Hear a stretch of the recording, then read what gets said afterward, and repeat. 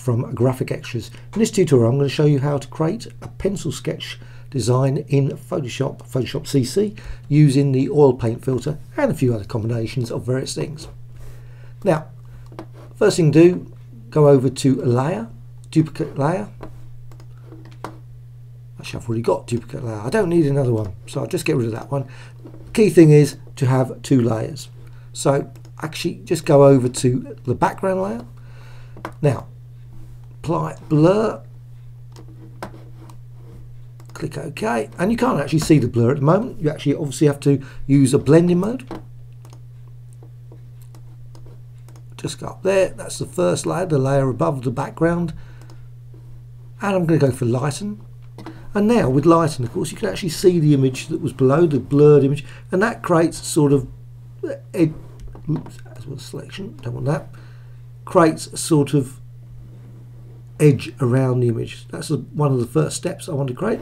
Now, next thing I want to do, filter oil paint. Now, the oil paint filter, you can actually set stylization to 10, cleanliness 10, set all the various other ones to minimum. And then you actually create a design without any of that sort of lines that you would normally see. I don't want to create that, but I want to create that sort of smeary, swirly, like it was a pencil, loose pencil sketch. So just click OK apply a few times.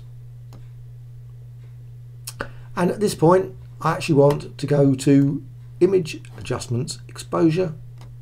And I'm going to take this and I'm just going to boost it up a little bit but I don't want to boost it up so much that it actually loses this edge and I don't want to lose the actual structure of the face. Obviously you want the actual as if it's a pencil sketch so let's click OK next thing to do is actually black and white. Obviously a pencil sketch could be a coloured pencil sketch, but I'm just gonna gonna go for just turn that black and white. Again, I want to just keep that sort of glow. So the edge there, sort of the glow in the in the swirl. But I don't want to lose the actual structure of the face. So that's all kept at that point. Click OK. Now I can go over to oil paint again. I always love putting oil paint in again, so just give a bit more extra smear.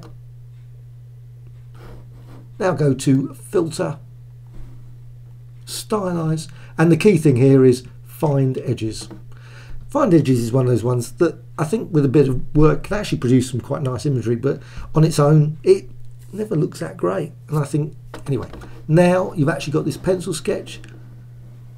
You see the actual swirl smearing of the brush and I'm just going to apply a quick auto tone and again it could go to adjustments exposure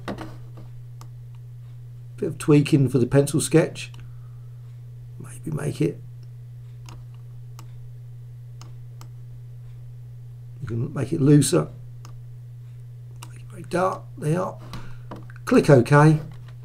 And again oil paint and there you are. You've got a very good, well, very loose pencil sketch that uh, you can use obviously with any image, not just this face, obviously. Hope you found this quick tutorial of interest and that you'll subscribe to the Graphicxtras channel, always adding new tutorials. Thank you much.